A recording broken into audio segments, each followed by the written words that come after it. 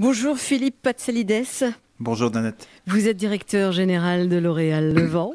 Bonjour Mohamed Hamzi. Bonjour madame. Vous êtes secrétaire général du CNRS Liban et président du jury L'Oréal au Levant et dans le Golfe donc. Nous sommes ensemble euh, aujourd'hui pour parler de ce concours. Enfin, c'est pas un concours, hein, puisque évidemment, ça récompense des gens. Donc, au bout du chemin, c'est un concours, mais c'est une très belle initiative au départ. Je voudrais qu'on revienne un peu sur cette genèse et sur cette association qui réunit donc L'Oréal, la Fondation L'Oréal et l'UNESCO. À la base, qu'est-ce qui vous a réunis? Eh bien, ça a été une initiative qui a été créée en 1998, qui a été menée par la Fondation L'Oréal en partenariat avec l'UNESCO et qui vise à améliorer la représentation des femmes dans les carrières scientifiques, fort de la conviction que le monde a besoin de science, mais que la science a surtout aussi besoin de femmes. Mhm. Euh, ce programme a euh, le but de reconnaître, récompenser les accomplissements des plus grandes scientifiques euh, des cinq continents. Il encourage récompense aussi les jeunes talents prometteurs dans la réalisation de leurs projets scientifiques. Donc depuis 22 ans, euh, nous avons pu euh, reconnaître plus de 3500 chercheuses issues de 118 pays et euh, nous avons pu les accompagner les mettre, et les mettre en lumière. Au niveau de la région, du Levant, du Liban, ce programme a été mis en place en 2014, mhm. donc on est au niveau de la septième édition. Et alors, est-ce qu'il y a toujours le même nombre de candidats un peu partout ou c'est n'est pas forcément le cas? Alors non, il n'y a pas le même nombre de candidats euh, un peu partout dans la, sur la planète, mais il est vrai que c'est un programme qui est assez euh, reconnu et je pense que le docteur euh, Moïn Ramsey pourrait mieux en parler, mais nous avons une augmentation très significative du nombre de dossiers et d'applications de, ces, de ces jeunes femmes scientifiques très très prometteuses. Je vais peut-être passer la parole au docteur Moïne Ramsey pour ah dire deux mots là-dessus. Euh, voilà, c'est cette initiative pour l'empowerment euh, des femmes, mhm. hein, les femmes en sciences. C'est une initiative qui a bien réussi, pas seulement dans la région du Levant, mais mhm. dans tous les, toutes les régions du monde.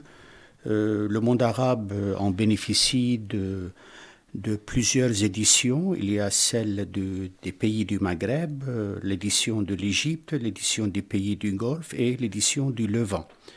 L'édition du Levant qui couvre des candidates des pays comme le Liban, la Syrie, la Jordanie, l'Irak et la Palestine. Et qui peuvent s'élargir encore à d'autres pays éventuellement Dans les pays du Levant, on a fait le maximum. Hein. On couvre tous les pays du Levant. Vous avez, tous les cité l'Égypte, c'est peut-être moi qui n'ai pas fait attention. Non, l'Égypte, ils ont leur propre édition. ils ont leur propre L'Égypte, il y a trois ans, il faisait partie du même programme Levant et Égypte. D'accord. Mais après, l'Égypte, euh, on, lui a consacré un programme, une édition spéciale Égypte. Les pays du Golfe que j'ai l'honneur de présider son jury également. Euh, ça couvre les, huit pays, les sept pays du, G, du GGC et plus le Yémen. Et euh, les autres pays, il y a également une édition des pays du Maghreb, euh, entre le Maroc, la, la Tunisie et l'Algérie. cette édition nous permet d'honorer et de récompenser des, des femmes dans, dans, à deux niveaux. Il y a les post-docs, les mhm. post-docs qui est adressé spécialement aux maîtres de conférence, le mhm. niveau maître de conférence, c'est-à-dire dans les cinq années qui suivent l'obtention du, doctorat. Et, et, et dans, dans, dans, cette catégorie, il y a, on choisit toujours trois candidates. Trois candidates, à savoir que chaque candidate doit appartenir à un pays. Mhm. Euh, l'autre groupe de, de, de, fellows, ce sont les doctorantes. Les doctorantes qui sont en cours de, qui sont en cours de mhm. préparation de leur doctorat et précisément dans leur deuxième année de doctorat. D'accord. C'est-à-dire. Et pourquoi la deuxième année? Je, vais vous le dire, madame. Euh, les post-docs, hein, ils peuvent bénéficier d'une bourse, d'une subvention de 10 000, euros. Mhm. 10 000 euros qui leur permet de, financer un séjour scientifique de, euh, de haute qualité dans un pays euh, européen pour faire de la recherche très avancée euh, avec des équipes de bien reconnues dans le monde entier.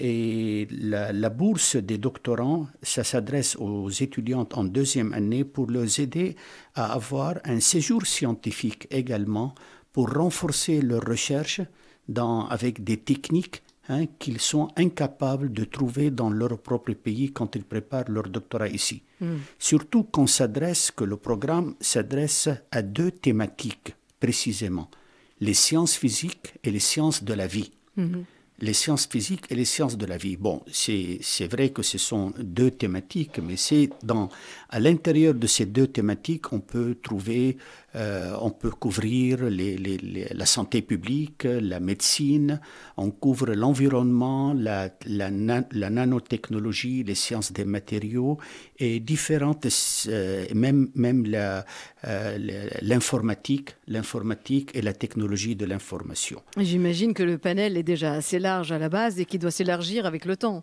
Tout à fait. Ce qui fait qu'on reçoit régulièrement, pour revenir à votre question à Philippe, euh, on reçoit chaque année une centaine de candidats. Et les candidats qu'on reçoit, ce Et là, vous parlez du Levant Du Levant, oui, oui, je parle du Levant. Euh, d'accord. Alors, on reçoit, c'est pareil dans les autres régions, c'est pareil. Oui, mais 100 candidates pour tous les pays du Levant. 100 candidates pour tous les pays du Levant, avec des différences significatives mm. entre les pays. Mm. Ah, il ne faut, pas, il faut pas penser qu'on a 6 pays, qu'on a 15 par pays. Malheureusement, non, ce n'est pas ça le cas. Sur les 100 candidates, on a la majorité qui vient du Liban. Mm. Ah. ah, oui, le Liban représente presque 40% des candidats, facilement. Euh, ensuite, il y a la Jordanie. La Jordanie avec 20%.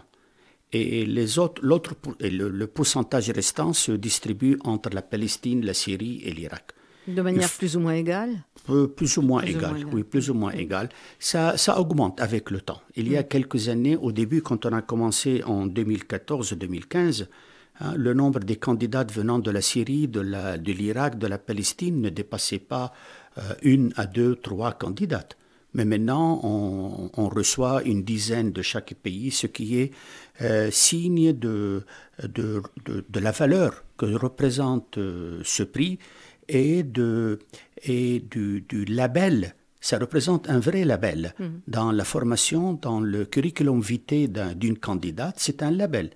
Moi, je vois les CV, des centaines de CV chaque année. Quand il y a une candidate qui a eu le, mérite d'avoir le Fellow ou bien le Rising Talent, qui est le deuxième degré des prix de L'Oréal UNESCO, ou bien le lauréat, lauréat qui est l'équivalent, disons, c'est le prix le plus, le plus prestigieux. Mm. Hein, qui est adressé dans, dans, les domaines, dans le domaine de la recherche scientifique, qui est adressé, qui est consacré aux femmes dans le monde, euh, ça, c'est un grand prestige que les candidates, que les, les, bénéficiaires le citent dans leur CV et ça fait partie même de leur signature.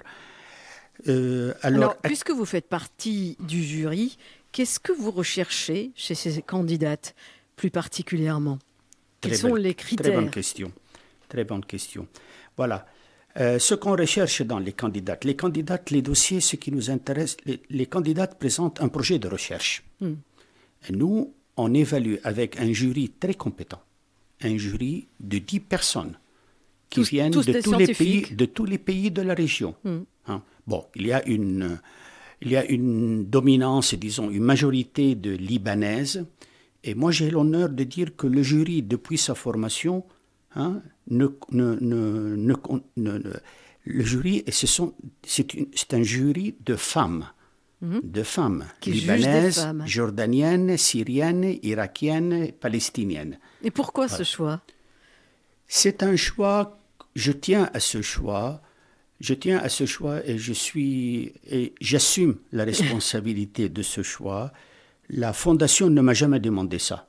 Ne m'a jamais demandé mhm. ça, mais c'est un choix que je crois que les femmes sont capables de jouer un rôle majeur dans l'évaluation des projets il y a, il y a, le, il y a un bon sens, hmm. un bon sens pour évaluer un projet que présente une femme. La femme présente un projet. Alors, la, la, façon de lire le projet par une femme est différente de la façon dont lit un homme. Bon.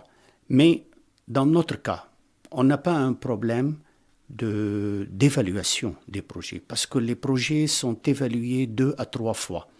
Par des évaluateurs différents qui parmi les jurys. Qui comportent des hommes à la base aussi euh, Souvent, on fait appel à des hommes, hmm. surtout lorsqu'il y a des thématiques assez variées. Hmm. Parce que vous imaginez sur les 100 candidates, hein, on peut couvrir dans les domaines scientifiques actuels, pas seulement dans les thématiques, mais ce qui ce qui, nous, ce qui rend notre tâche difficile, c'est la multidisciplinarité des thématiques.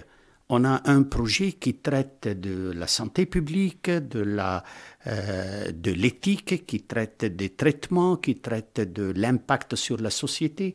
Alors tout ça, ça, ça peut pas, l'évaluation ne peut pas être faite par une seule personne. Hein? Oui, c'est clair. Quelles que soient les compétences de cette personne. Alors on fait appel à plusieurs à plusieurs évaluateurs pour compléter notre évaluation qui se fait selon les normes et selon les indicateurs internationaux adoptés et reconnus par toutes les instances et les centres de recherche et les universités du monde. Alors, ces indicateurs euh, ont fait preuve parce que la plupart des candidats qui ont été choisis hein, ont eu la chance de passer au stade supérieur qui est le Rising Talent. Encore, c'est un autre prix, prix du programme L'Oréal UNESCO. Et je voudrais à cette occasion citer que le Liban a toujours été bien servi. Parce que, pas parce qu'on est, on est des Libanais que, que je, gère le programme, non, pas du tout on est le plus sévère avec les Libanaises qu'avec les autres. Oui, euh, je dis que les Libanaises ont toujours profité du, du, niveau supérieur de ce programme qui est les lauréates.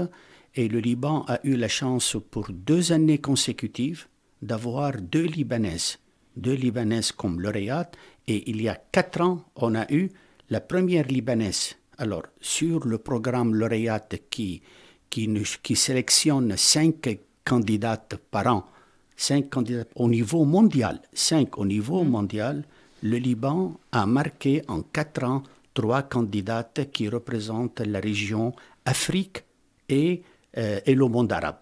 L'Afrique et le monde arabe, il y a trois Libanaises et ça, aucun pays n'a pu réaliser ça.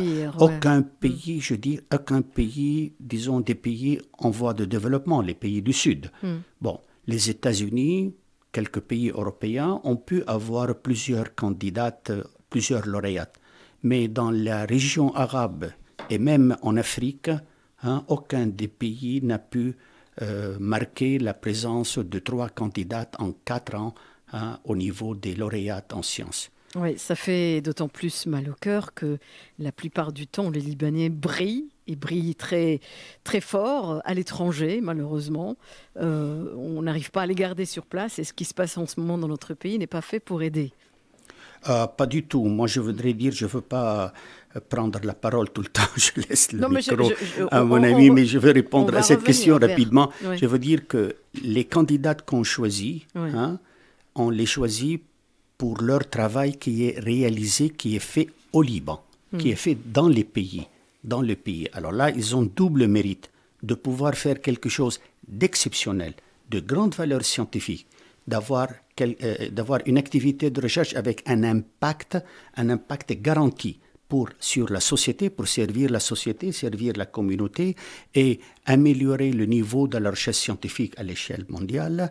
Et ils le font dans des conditions qui, qui, sont, qui sont loin d'être favorables pour faire la recherche scientifique et d'avoir, euh, et d'avoir une, vie, une vie facile pour travailler et pour, euh, et pour innover. Alors, vous avez indirectement répondu à la question que je vais quand même vous poser, juste pour être sûr. Est-ce que le niveau de la recherche scientifique est plus ou moins égal dans les pays de la région, évidemment les pays du Levant Non, loin de là. Oui, j'imaginais, parce que votre, euh, vous l'aviez déjà plus ou moins dit indirectement euh, tout à l'heure. Alors, cette année, je pense qu'il y avait du pain sur la planche, comme on dit, avec l'arrivée de ce virus, euh, cet horrible virus Covid-19. Est-ce que la recherche s'est un peu penchée là-dessus?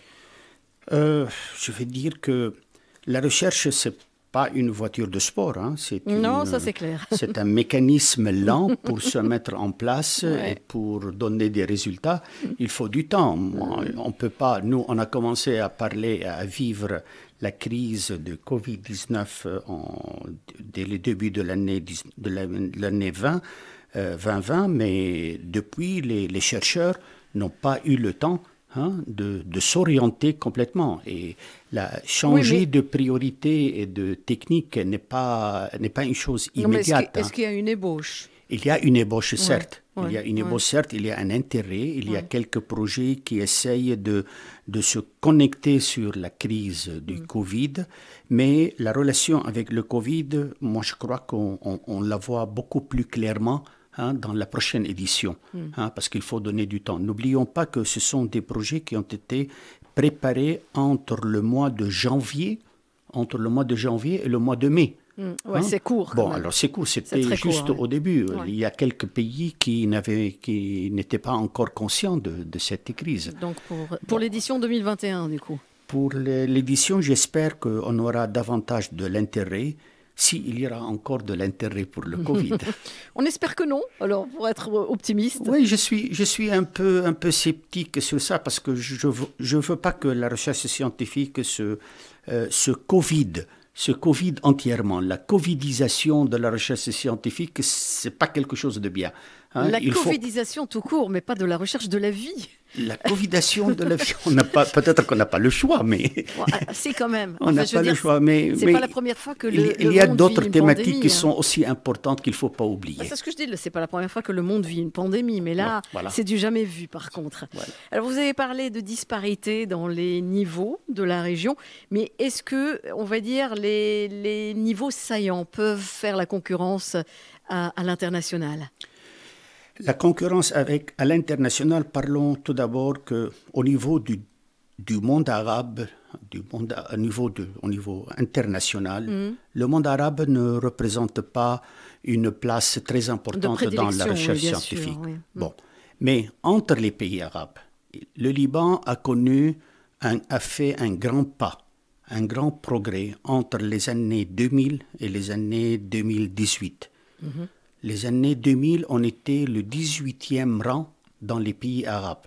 Mhm. Dans, au niveau, au, en année, au début de l'année 2018, on était parmi les cinq premiers pays arabes au niveau de la recherche scientifique. Et dans la recherche médicale et en sciences de l'environnement, hein, on était parmi les deux ou trois premiers. Bon, mais tout ça, tout ça risque malheureusement de tomber dans l'eau. Tout ça risque de. Les conditions économiques, euh, universitaires, euh, qui sont loin d'être favorables, euh, risquent de nous, ramener, de nous ramener 20 ou 30 ans en arrière. Alors la question que j'ai envie de vous poser, parce que vous êtes tous les deux justement impliqués, c'est quel est le taux de discrimination qu'il y a à l'encontre des femmes qui sont dans la recherche scientifique? Je pense que la recherche scientifique, c'est toi. Moi, je peux parler de mon entreprise.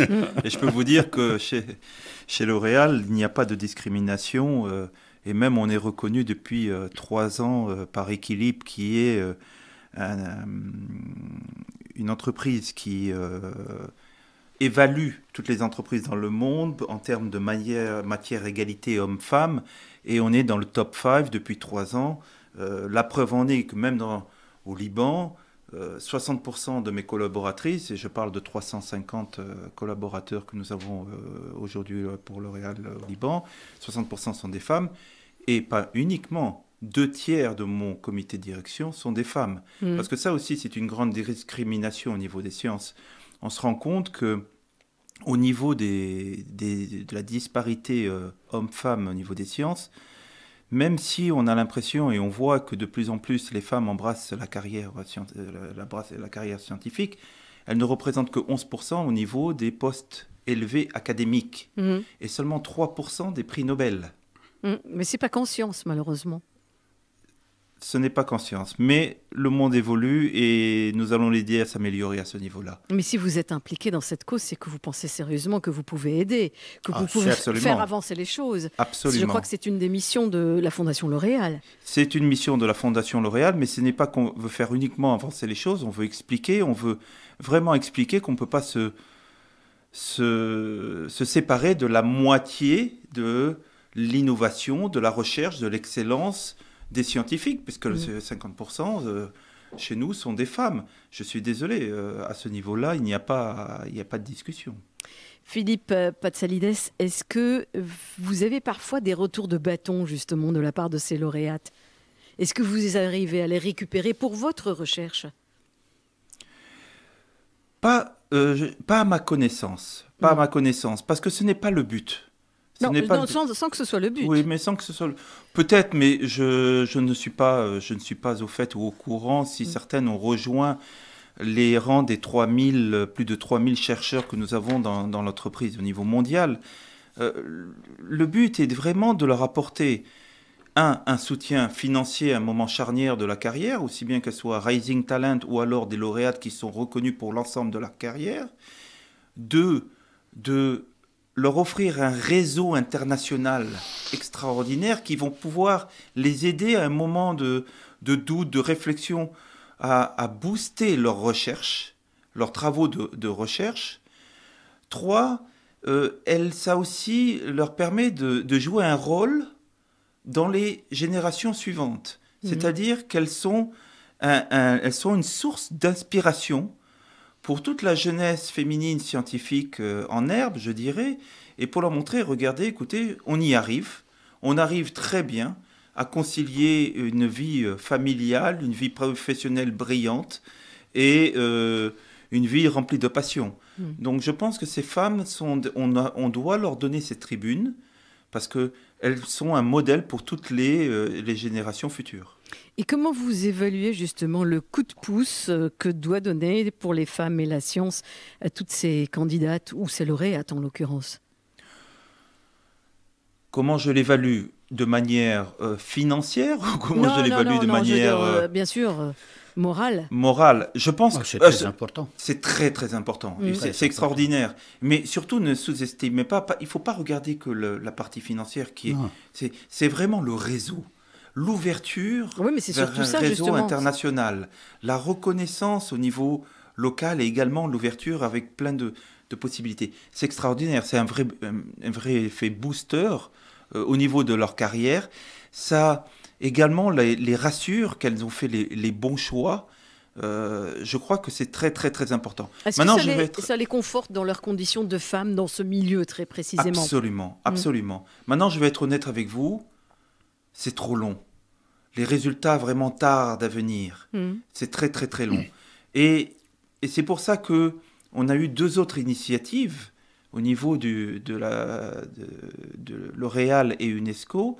C'est qu'on a réalisé que, bon, premièrement, quand se font les choix Les choix se font quand on est jeune, au collège, au lycée, on va commencer à embrasser une carrière scientifique. pour ça qu'on a commencé à mettre en place des bourses, euh, ici avec euh, l'USJ, avec les UB, pour reconnaître euh, tous les talents féminins scientifiques en herbe, les mhm. futurs euh, prix Nobel de demain.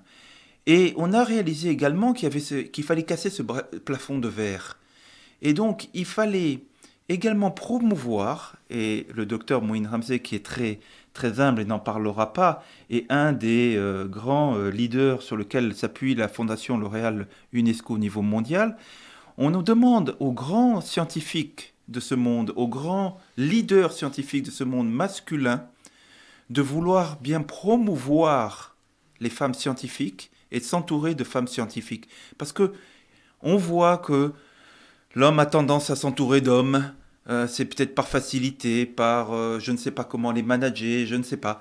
Il y a, on, voit tout ça. Et donc, en fin de compte, on sent que... Il y a aussi la menace que représentent les femmes. Hein. Peut-être. je, vous laisse, je vous laisse euh, la responsabilité de ces mots. Je ne sais pas. Mais on sent que, en fin de compte, il y a une montée en puissance de la présence des femmes dans la science à tous les niveaux, sauf qu'à un moment, ce pourcentage revient à 11%.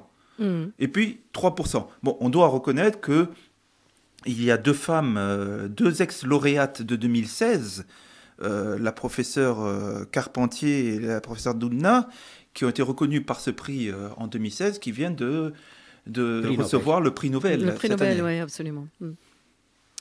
Alors, que vous disent ces femmes, justement, de leur parcours? Puisque j'imagine que vous devez avoir oh Quelques, quelques sentiments que vous partagez après. Je, je, vous assure que ce sont des modèles de, de courage, de, de, résilience, de persévérance, de passion.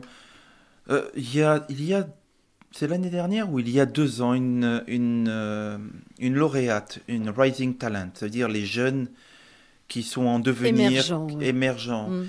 Qui a euh, gagné un prix euh, ici au niveau du Levant. C'était une, une, Palestinienne. Euh, je ne vous cache pas que son voyage, si je ne me trompe pas, pour venir recevoir son prix ici. Était son premier A pris plus de trois semaines. Plus de trois semaines. avec un voyage à travers l'Égypte, je vous ne cache dans quelles conditions? Il fallait voir. Elle ne s'est pas plainte. Elle était ravie, elle était heureuse, elle était passionnée. Elle était. Je crois que n'importe qui aurait envoyé bouler tout ça. Non, cette femme était pleine d'espoir, de, vie. Euh, franchement, c'est une vraie école de la vie. C'est une mm. vraie école de la vie. Ces femmes sont vraiment des vrais modèles. Qu'est-ce que vous pouvez me dire sur l'édition donc 2020 je vais laisser ça la parole à, à, Mouine. Moi, je voudrais enchaîner ce qu'il a dit, Philippe. L'idée, c'est que pour ces femmes, l'impression qu'on a quand on, quand on, leur annonce le, le, le résultat, euh, moi, je peux dire que c'est pour, pour, pour, toutes ces femmes, c'est toujours un, une reconnaissance internationale de leurs compétences. Et ça, c'est très important mmh. dans la carrière d'une scientifique, d'une académicienne. Euh, j'ajoute à cela que ce sont des moments de bonheur, de fierté et surtout d'épanouissement. Parce que moi j'ai vu des femmes qui ont changé complètement de caractère hein, une fois qu'ils ont eu ce prix. C'est pas les 10 000 euros, c'est pas les 6 000 euros, mais c'est la reconnaissance de leur, euh, de leurs compétences, de leurs compétences et de leurs efforts qu'ils sont en train de faire. Je peux vous dire que dans une carrière, c'est tout ça. Ça passe bien avant l'argent, malheureusement. Oui, tout à fait. Mm. Tout à fait. Ah, c'est juste l'essor qu'il faut pour pouvoir aller de l'avant. Même j'ai vu des dossiers, des dossiers qui étaient du même niveau pour d'autres types de prix, comme le Fulbright, mm-hmm. comme les bourses françaises, les bourses euh, allemandes. Et quand les dossiers étaient ex le choix a été fait pour celles qui ont le prix L'Oréal euh, UNESCO, parce qu'ils considèrent ce prix comme une reconnaissance régionale, ça se fait au niveau régional, mais qui a un impact international. J'aimerais bien en profiter, vous voulez pas connaître les noms des candidats de cette année? C'était ma question, j'allais y venir. Et moi, je, parlerai de comment on a pu l'organiser dans ce contexte bah de, crise sanitaire. Alors j'imagine que ça a été une édition en ligne. Voilà. Exactement. Alors, si tu permets, euh, Mouine, euh, on s'est posé la question peut-on l'organiser Comment l'organiser Et on n'a pas voulu, on n'a pas voulu euh, repousser cette récompense, cette, cérémonie à juin, juillet 2000, 2021. Et comme on, a dû s'adapter, et donc on a fait une édition 100% virtuelle, avec, on a créé quasiment un studio de télévision dans nos bureaux.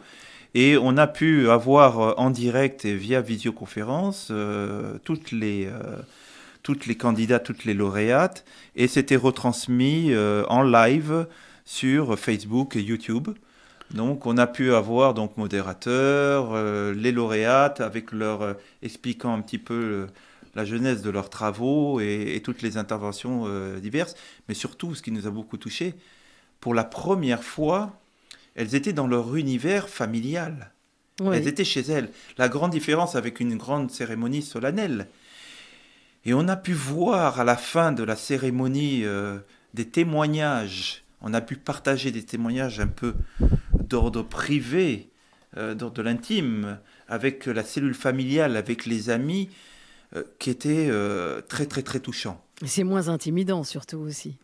C'est beaucoup moins intimidant que de voir parler euh, devant 200, euh, 300 personnes dans un, dans un amphithéâtre. Mais euh, je peux vous assurer que le nombre de, de followers, de nombre de personnes qui suivaient ça en ligne était supérieur. supérieur, largement supérieur. On ne l'aura pas dit. Mais je laisse à Mouine peut-être parler de nos six, six lauréates. quand même. Je voudrais savoir un tout petit peu ce qu'elles ont proposé comme projet, qui elles sont, d'où elles viennent. Alors, les lauréates de cette année en postdoc, mm. euh, on a choisi trois candidates, la, trois candidates, une par pays. Euh, Lina Dahabiye, de, une Jordanienne, mm-hmm. qui travaille en, euh, en, spectroscopie et en biologie et en biophysique. Elle est maître de conférence à l'université de Jourdain, mm-hmm. Jordanian University. La deuxième, c'est pas la deuxième dans le rang. Euh, la candidate libanaise est docteur Farah Nassar. Mhm. Elle travaille à l'Université américaine de Beyrouth en tant que chercheur et elle travaille sur les maladies cancérigènes. Euh, une, la troisième, c'est Dima Suleiman, une Syrienne, euh, qui travaille sur la pollution métallique à l'Université Basse en, Syrie. Mhm. Alors, en postdoc, on a une Jordanienne, une Libanaise et une Syrienne. Mhm. en, en, doctorant, PhD student, mhm. euh, on a euh, Farah El-Ma'mouri, une Irakienne qui travaille sur les plantes médicinales à l'Université du Jourdain. C'est elle qui va nous trouver le remède pour le Covid. Ah bon? J'espère bien. Mais je ne crois pas qu'une plante va résoudre le problème. non, il nous faut quelque chose de plus virulent. Euh, la deuxième, c'est Christelle Hajar, une Libanaise qui travaille en oncologie, également dans les maladies, euh, dans le traitement des maladies du, du cancer et, elle est euh, étudiante, doctorante à l'Université Saint-Joseph de Beyrouth. C'est pour dire que l'incidence euh, du cancer au Liban est assez importante, malheureusement. Toujours. Mm. Une des plus importantes, si ce n'est la plus importante de la région. Il y a presque 50% des candidates qui travaillent sur les maladies cancérigènes. Oui, mais nous avons un taux de cancer particulièrement élevé. Ça, il faut voir. Non, non, c'est des données médicales. Oui, oui, oui.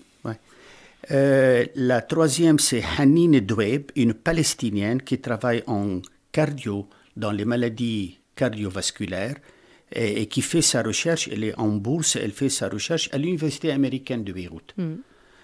Euh, ça, c'est pour les six candidates euh, qui travaillent, toutes les six candidates, sur des projets de recherche innovantes, innovantes qui ont un impact direct à court terme sur la, leur projet de recherche et ils, ils, ils ont un, un dossier euh, bien garni avec des publications dans des revues à comité de lecture et euh, surtout les doctorantes, je vais dire que euh, ce sont des candidates prometteuses pour avancer dans leur domaine et la, ce qui ce qui justifie notre choix, c'est que on a vu qu'il y a, il y a beaucoup de perspectives hein, dans, les, dans les, les, projets qui ont été choisis. Alors j'imagine que vous avez dû échanger avec elles, vous savez euh, où est-ce qu'elles vont aller euh, maintenant, comment elles vont développer leurs recherches? Voilà.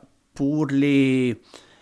Je peux vous dire que pour, la, pour Lina Dahabi et pour Farah Nassar, euh, la jordanienne et la libanaise, toutes les deux, elles ont des projets pour faire des séjours scientifiques de six mois aux États-Unis, en Allemagne et en Europe. Le projet de Dima Suleiman, elle souhaite également faire un séjour scientifique en France, mhm. hein, la syrienne. Pour les doctorants, ils sont censés faire un séjour scientifique également avant la soutenance de leur thèse. L'irakienne, je crois qu'elle a une proposition euh, en, Allemagne, mhm. en, Allemagne également. Christelle Hajar, elle a une proposition en France et Hanin Edweb, elle a une proposition également dans un pays du nord de l'Europe, je crois que c'est le Danemark. Ou Mais euh, le choix du laboratoire ou bien du centre de recherche où les candidats vont faire leur séjour scientifique, encore c'est un indicateur que nous prenons en considération hein, et qui reflète la valeur du projet de recherche et, euh, et, la place de ce projet de recherche dans les thématiques internationaux euh, que traite la science. Je voudrais en profiter, si vous me le permettez, de citer le nom des membres du jury. Oui, bien Parce que les membres du jury, ils font un effort euh, volontaire, bien sûr, mhm. et c'est un effort qui, ils ont beaucoup de mérite. chaque dossier est évalué deux à trois fois avec, euh, en suivant des indicateurs, une, procédure bien rigide, bien rigide, et on a eu l'occasion de faire plusieurs zooms pour en discuter des dossiers qui ont été choisis en liste courte, etc. Et les membres du jury cette année, on avait euh, Ibrahim du Conseil supérieur de l'innovation et de l'excellence en Palestine, Marie Aboud de l'Université Saint-Joseph, Tamara Zain du CNRS Liban, Rehab Nasser de l'Université américaine de Beyrouth, Hibal Haj de l'Université américaine de Beyrouth, Abla Mihyo Sibai de l'Université américaine de Beyrouth, Najat Saliba de l'Université américaine de Beyrouth, euh, de l'Université jordanienne à Amman, Elise Njem du CNRS Liban et Nouf Mahmoud de l'Université Az-Zaytouna en Jordanie. Euh, ces, ces, dames font le travail, la plupart ils le font depuis quelques années, mais on ajoute chaque année des membres du jury en fonction des thématiques qu'on trouve dans les propositions de, des candidates. Et vous gardez le même nombre de jurés chaque année? Non, non, non, pas, forcément. Pas forcément. Hmm. Le jury est ouvert. L'essentiel, c'est qu'on trouve des compétences pour évaluer, hmm. les, les, juger les différents projets euh, qui nous sont proposés. Ce qu'on pourrait rajouter, hein, cher Moïne, c'est que certains de tes membres du jury sont des ex-gagnants, des anciennes gagnantes lauréates. Euh, Toutes de, toutes, euh, le Toutes. Ah, toutes le. Et certaines reconnues internationalement. Elles ont gagné le Sauf le président. Hmm, il va falloir que on fasse quelque chose, mon cher Mouine. Puisqu'on a évoqué euh, ce virus qui est la Covid-19 et que j'ai l'impression qu'on va devoir s'habituer à vivre avec pendant un petit moment encore, qu'est-ce que vous prévoyez pour l'édition 21 du coup? La même chose, que ça se passe de la même manière si ça continue ou, d'inclure euh, une nouveauté? Bah, Je crois que euh, les initiatives dans le domaine du Covid-19 pour la, gestion de la crise Covid-19 au niveau du traitement, au niveau des précautions, au niveau du vaccin, hein, au niveau du suivi épidémiologique de, cette crise, euh, ça, peut, ça peut se caler facilement dans le domaine dans une des thématiques euh, essentielles de ce programme qui est les sciences de la vie. Euh, alors, comme les, les candidates ont, en grande majorité traitent des questions des maladies cancérigènes, euh, alors moi j'imagine que l'année prochaine, l'édition 2021, on va avoir des candidates avec des projets de recherche orientés hein, vers les différents aspects de la gestion de la crise du Covid-19, avec avec ce qui n'est pas facile, avec quelques résultats, parce que le data, le data sur les maladies, sur les maladies, euh, sur les malades et euh, sur les échantillons hein, ne sont pas encore rendus publics. Alors moi je connais des chercheurs au Liban. Le CNRS a déjà financé un grand programme Flash Call sur le Covid-19 euh, on a des chercheurs qui souhaitent travailler, mais ils n'ont pas les échantillons hmm. parce que il y a, c'est encore euh, limité aux hôpitaux et au ministère de la Santé. Et on essaye de trouver, avec le ministère de la Santé, ce qui n'est pas tâche facile, de trouver un protocole qui permet aux chercheurs d'accéder aux informations recueillies par les hôpitaux, par les médecins, pour qu'ils puissent les utiliser et faire des tests euh, différents pour mieux comprendre le comportement de, euh, mieux le comportement de ce virus et, euh, et la façon dont réagissent les malades. Il y a beaucoup de la recherche qu'il faut faire, ça va prendre beaucoup de temps, mais le point le plus difficile pour le moment, c'est de trouver des échantillons, de trouver mm. le matériel. C'est pas un matériel synthétique qu'on peut acheter à un laboratoire ou bien, à un fournisseur. Mm. Il faut utiliser du matériel qui vient de l'humain. Et l'humain, là, il y a des, il y a des, euh, des règles de respecter l'éthique des malades. Et Tant qu'on le respecte encore, l'éthique. Ah, je crois que les malades, ils ont le droit de dire, hein, de, de, rendre public leurs données mm. ou non. Mm. Bon, je ne sais pas comment ça se passe, comment ça se passe, mais je vous dis que les chercheurs, pour le moment, surtout au Liban, et je le sais également en Jordanie, même en Jordanie, ils n'ont pas accès n'ont pas accès à ce matériel vivant dont ils ont besoin, pour étudier et pour proposer quelque chose de concret, euh, que ce soit comme, projet de recherche ou bien comme résultat de recherche. Est-ce que la recherche pourrait s'axer également sur une meilleure prévention d'une pandémie en règle générale, quelle qu'elle soit, puisqu'on nous prédit d'autres pandémies à venir? Ben, C'est oui ou non. Hmm. Oui et non. La recherche, ce n'est pas une, baguette magique. Non, mais de manière à être plus près. Euh, à, mon avis, à mon avis, il faut être ça, c'est le genre de recherche prospective qu'il faut mm. faire. Mm. Il faut qu'on propose une recherche prospective. On en parle souvent, il y a de la littérature maintenant qui parle d'une pandémie qui va revenir dans 20 ans. Bon, mais comment on fait pour ne pas être surpris? On n'a plus le droit de dire, voilà, on est surpris comme, comme ça a été le cas du Covid-19. Est-ce qu'on peut euh, ne pas être surpris? Oui, juste... oui, vous oui, pensez que oui. bien sûr mm. qu'on peut, avec mm. l'intelligence artificielle. Oui, qui arrive bien entendu. Avec l'intelligence artificielle, avec les moyens de la robotique, avec, les, mm. avec le niveau avancé, et surtout, et surtout, avec le open science, avec la science à la disposition, les résultats à la disposition de tous les chercheurs, de tous les chercheurs. L'abolition maintenant des brevets, hein, pour arriver à rendre les résultats de la recherche à la disposition de mm. tous les chercheurs, ça c'est un, ça c'est un pas très très avancé hein, qu'il faut bien qu'il faut bien protéger.